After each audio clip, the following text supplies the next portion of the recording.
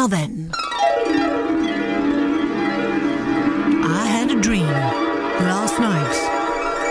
And indeed the night before. I was going on a walk.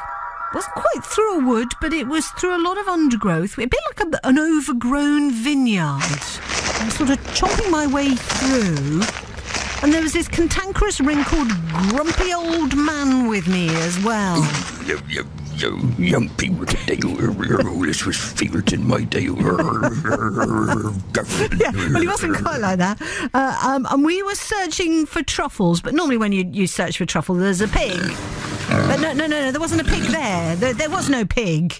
Uh, and then we went into a restaurant. Yeah, yeah, it was all very nice. It was a bit French. And this grumpy old man, every time I kept saying, look, there are truffles, there are going to be truffles. And he was going, no, no, no, there are no truffles. And we kept fighting our way through the undergrowth. And we got to this restaurant, and then we were served these exquisite food. And it was down to the fact I'd found the truffles. But I didn't realise I'd found the truffles. It's all very weird. What does this dream mean, if anything, apart from the fact maybe I should eat less cheese at bedtime? Ian Wallace, good morning, dream psychologist. Hello. Morning, Annie. How are you? Are you scared of me now? no, and I just like to scotch the myth that eating cheese before going to bed gives you nightmares. I know it doesn't, does Yeah, it? it doesn't Not at all. at No, no, no, no. Okay, um, am I going bonkers? Am I slightly weird, or am I just confirming what everybody else knew here anyway that I am rather mad? Yes, so I've just been in touch with your producers, Annie, and we have arranged some transport to take you away in the next few minutes. So, Yeah, thanks a lot. what do you make of it? so this is a, it's a really fabulous dream, Annie. So it's one of the things about dreams that you can think they're completely crazy, Hmm. but you have to understand that a dream is a different type of language. And also, the dream's not happening to you, Annie. You're creating all this. You're trying to tell yourself something. Yeah. And because you're maybe not paying attention to that in waking life, that's why we keep having recurring dreams. Okay. So this is really lovely. So any time that you dream of walking through undergrowth or this vineyard or someplace that's quite overgrown, it's kind of like going through a, almost like a childhood forest. So it's full of possibility and there's all that growth happening there that you've not been aware of. But also it's a bit confusing. You're not quite sure where you're going. It's a bit hard to struggle through there. So there's something in your waking life where um, something really valuable has been accumulating for you. And usually with any sort of plant, it's to do with experience and wisdom. Right. So you're fighting your way through this. Now, this cantankerous, grumpy old man, any time you dream about someone else in a dream, you're actually dreaming about some aspect of your own character. Oh dear, my grumpy and cantankerous. the- told me then.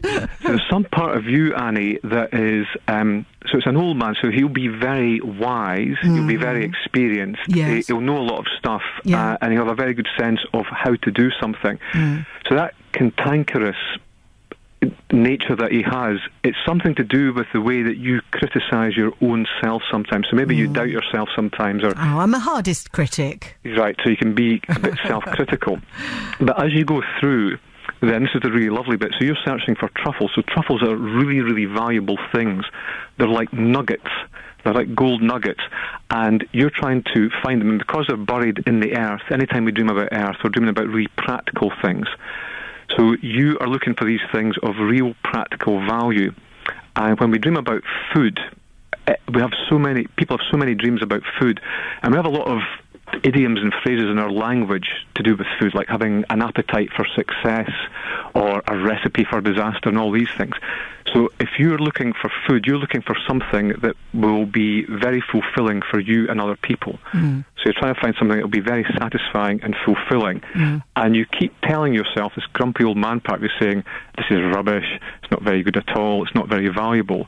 And you keep listening to that voice. But when you get to the restaurant, someplace where these truffles or these meals have a value, a real value, then you're told what you're doing is absolutely exquisite.